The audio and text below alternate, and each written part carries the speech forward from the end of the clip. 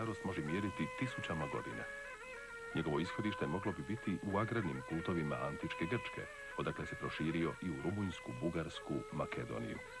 Na Korčulu je možda došao još i u vrijeme grčke kolonizacije. Sve koje kumpanije imali su taj običaj, ali većina ga je s vremenom napustila. Međutim, obnove običaja imaju drugčiju težinu. Kad je 1966. godine obnovljena moštra u Žrnovu, također se volu sjekla glava. Postoji nešto u ljudima što ih navodi da važne trenutke obilježavaju na dojmljiv način. I Žrnavo i Pupnat odlučili su se na onaj za koji su vjerovali da ih veže s njihovom povješću i porijeklom.